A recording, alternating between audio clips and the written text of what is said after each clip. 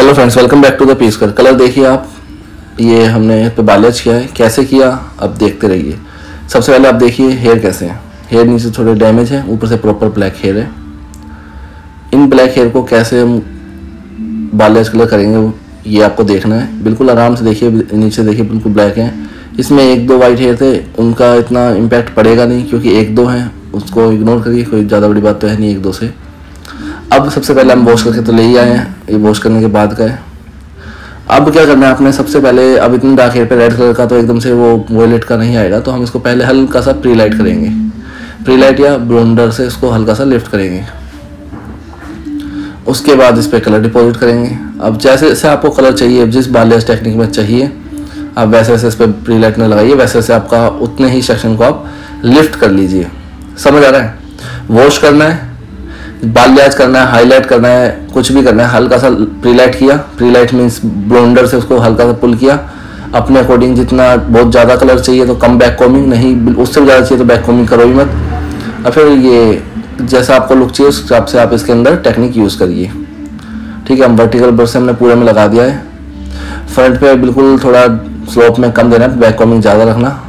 अभी देखिए, लगाने का टेक्निक देख रहे हैं। अगर जिसने जिसको नहीं समझ आ रही, वो आराम आराम से इसको दो तीन बार देखे, समझ आ जाएगी। सारी शूट कर रखा है। देखो, बिल्कुल सामने रख के कैमरा तो शूट कर रखा है। इससे इजी क्या कर शूट करेंगे? लगाया ऊपर नहीं लगाया रूट्स में। सिंपल सा है। ठीक है, अब ये हो गया। अब इसको चेक करेंगे खोल के। नीचे वाले फॉइल को काफ़ी टाइम हो जाता है जैसे। अगर हमें दिखेगा, हो गया है तो फिर हम इसको वॉश कर लेंगे। ठीक है। उसके बाद वॉश करने के बाद, ये देखिए, हमने देखा कि नीचे हो गए, ऊपर के एक दो सेक्शन रह गए थे, अब वॉश करने ले जाएँगे। ऊपर का भी हो चुका है। ठीक है ज़्यादा हो जाते हैं। तो बाल को आप डाउन लाओगे, इसका मतलब ये नहीं कि नहीं कि कितना भी आप उसको लिफ्ट कर लेंगे। तो जितना ज़्यादा आप उसको प्रीलाइट या जितना ज़्यादा आप उसको ऊपर ले जा रहे हो, उतना बाल आपका हेयर जो है डैमेज भी तो हो रहा है, उतना जल भी तो रहा है, उतना रफ भी तो हो रहा है। तो आपको इतना ज़्यादा भी नहीं लेके जाना है। ठीक है? तो अब ये कर लिया हमने, अब इसको ड्राई कर लेंगे। ड्राई करके आपको गीले में दिखा देंगे। अभी ये गीले हैं, अब इनको ड्राई करेंगे। ड्राई करने के बाद क्या करेंगे ना, हम इनको पहले जो कलर चाहिए, उसका एक बीच में से पीछे से एक चंक्स करके दिखा देंगे। कलर ट्यूब है, इनके बारे में फिर से मैं बता दूँगा। ये कलर ट्यूब लगाइए, ये रिज़ल्ट आया है। इनके भी नीचे देख रहे हैं, बालों पे हमने ये कलर ट्यूब लगा चुके हैं। तो अब क्लाइंट को पसंद आ गया कलर क्योंकि अब यहाँ से क्या है कि अगर वो बोलते हैं, नहीं, थोड़ा अप डाउन चाहिए तो हम दूसरी ये बालों के ऊपर वो कलर आए ना है तो ये अंदर के बाल छुप जाएँगे। अभी बिल्कुल सेफ़ साइड हो गया, ऐसा आप कर सकते हो। ठीक है, अभी देखिए 420 लगाया और इसमें माजी कंट्रास्ट वाली रेड डाली है। रेड का बिल्कुल थोड़ा सा टिंच डालना है जिससे कि रेड कलर थोड़ा सा और बूस्टअप हो जाए इसके अंदर, क्योंकि इस पर दो नंबर पे तो आपको इरिटेशन मिल जाए। ठीक है? अभी ट्वेंटी वन का डिपॉजिट कभी भी मैंने बोला, या तो टेन या ट्वेंटी अब लोरियल में टेन नहीं आता है शॉर्टस्कोप में आता है, और जगह में आता होगा। तो ट्वेंटी वॉल्यूम से करना है, क्योंकि ट्वेंटी वॉल्यूम में ऑक्सीजन कम होता है हाइड्रोजन ज़्यादा होता है। डिपॉजिटिंग के लिए हमें हाइड्रोजन ही चाहिए। फोर सेक्शन करा। अब क्या करना है, आपको सिर्फ़ प्रीलाइट हेयर पिन लगाना। थोड़े ऊपर तक भी आप लगा सकते हैं, जो कलर लगाएँगे। आप सिर्फ़ प्रीलाइट पेन लगाना थोड़ा ऊपर तक। आप देखेंगे कि थोड़ा ऊपर तक भी लगेगा हमारा, जहाँ पे ब्लैक हेयर है, क्योंकि वो उसके अंदर हल्का सा टिंच आएगा।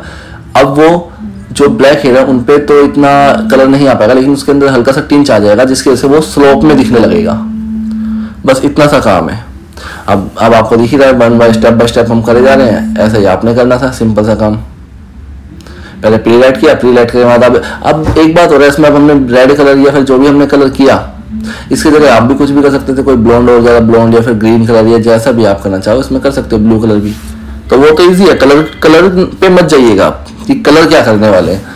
आप टेक्निक पे भागा करो। मैं हमेशा बोलता हूँ कि टेक्निक देखो यार कलर तो लाल, पीला, नीला कुछ भी हो सकता है। दुनिया में हर कोई जो कलर करता है, वही जो करना ज़रूरी थोड़ी ना आपको। आपको उस कलर करने की मतलब वो टेक्निक करने की टेक्निक आनी चाहिए। कलर तो क्लाइंट के फेस आपको ज़्यादा डार्क है, उस पर रेड ज़्यादा अच्छा नहीं लगेगा, उसको तो सेटल सेट कॉफ़ी कलर अच्छा लगेगा। मौका जिसको चॉकलेट कहते हो आप। ठीक है? तो आप कलर पर रखिए। अभी देखिए, अब इसको हमने 10-15 मिनट या 20-25 मिनट जैसे जैसे आपको लगता है, आपके कलर की क्वालिटी है, उसके हिसाब से रखिए। उसके बाद वॉश करके आपके सामने रिज़ल्ट है।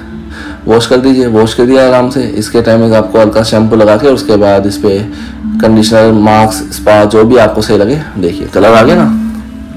अच्छी तरह से वॉश आउट कीजिए और उसके बाद क्लाइंट को फ्री कीजिए। इतना ही है। आगे मैं बोलूँगा टेक्निक पे ध्यान दीजिए, अपनी लाइफ में हमेशा कलर पे मत भागिए। किसी वीडियो में या कोई भी हमारी या किसी की वीडियो में अगर आपको कोई कलर पसंद वो कलर पसंद आता है तो कलर की कलर तो पसंद आ गया, चलो वो खुद भी कर लो।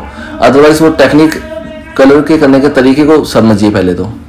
क्योंकि जो कलर आपको पसंद आया है, वो क्राइम को ना पसंद आए।